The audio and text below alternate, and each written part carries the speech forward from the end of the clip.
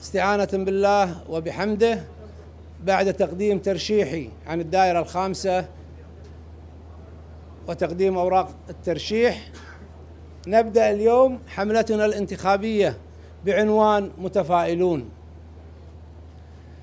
إيمانا منا بأن التفاؤل هو واقعنا هو دافعنا للتغيير.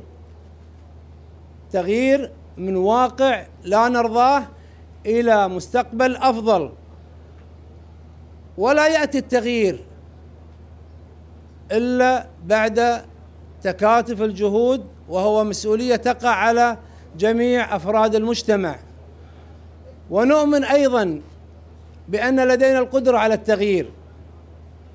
من هذا الواقع إلى مستقبل أفضل ومن خلال ذلك أطرح ونطرح برنامجنا الانتخابي برنامجا انتخابيا شاملا لكي نواجه التحديات والصعوبات التي تقابلنا في هذه الحياة.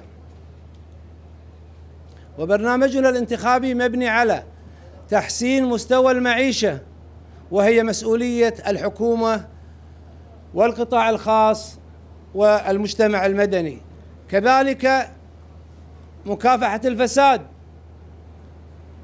ومحاسبة جميع الفاسدين وإعادة الأموال المنهوبة للشعب. وكذلك أيضا خلق فرص للعمل من خلال تشجيع الاستثمار وخلق فرص وظيفية لأبناء هذا المجتمع. يكفينا أن يكون هناك طوابير طويلة من أجل توظيف أبناء الكويت. أيضا في برنامجنا الانتخابي تحسين الخدمات ومنها الخدمات الصحية والخدمات التعليمية والخدمات الإسكانية وكافة الخدمات التي تقدمها الدولة ونسعى لتحسينها. وتعزيز للتنمية الاجتماعية من خلال توفير حياة كريمة لأبناء الشعب الكويتي. ومن خلال هذا الطرح ندعوكم للمشاركة في الانتخابات القادمة. ودعم حملتنا الانتخابية متفائلون. كما يقال تفاءلوا بالخير تجدوه. في نقطة أخيرة مهمة جدا. أحب أبينها للشعب الكويتي ولكل من هو مهتم بالشأن السياسي. ألا وهي الاستقرار السياسي. فلا تنمية ولا تطور ولا ازدهار دون أن تكون العلاقة بين المجلس والحكومة علاقة الثقة وتعاون وبناء وحسن نية فكل هذه البرامج الانتخابية التي قدمت لكم في الأيام السابقة وما سيتم تقديمه في الأيام المقبلة سيبقى ورقا حبرا على ورق ما لم تكن هناك علاقة صحيحة وصادقة بين السلطتين التنفيذية والتشريعية. لذلك أناشد رئيس مجلس الوزراء الشيخ محمد صباح السالم باختيار وزراء كفاء قادرين على العطاء والعمل من أجل مصلحة الكويت وشعب الكويت.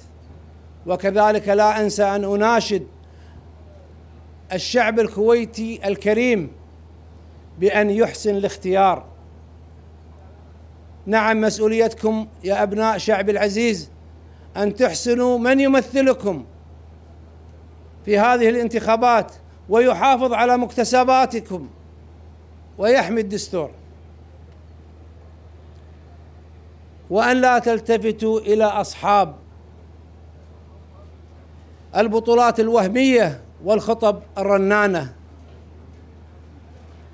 وبإذن الله متفائلون متفائلون متفائلون بأن شمس الكويت ستشرق من جديد تحت ظل وعهد صاحب السمو أمير الكويت الشيخ مشعل الأحمد الصباح حفظه الله ورعاه. وشكرا. الحمد لله. شوف الإنسان أعلى مكاسب الحياة يا أخوان ليس المال وليس الجاه. ولكن السمعة الطيبة والذكر الطيب عند الناس. فأبناء دائرتي الخامسة في ذاك الوقت أغرقوني بكرمهم وانتخابي لتمثيلهم في قبة البرلمان. فكانت من أجمل اللحظات التي يرد إلى الشعب الوفي وأبناء الدائرة الجزاء بالخير يرد بالخير. فكانت تجربة فعلا آه، استفدت منها كثير. وأنا في خدمة أبناء الدائرة الخامسة خاصة وأبناء الكويت عامة والمقيمين على أرض الكويت أيضا. يبقون إخواننا وزملائنا في هذا الوطن وشركاء معنا من خلال بنائهم وعملهم في هذا الوطن الحبيب على الجميع.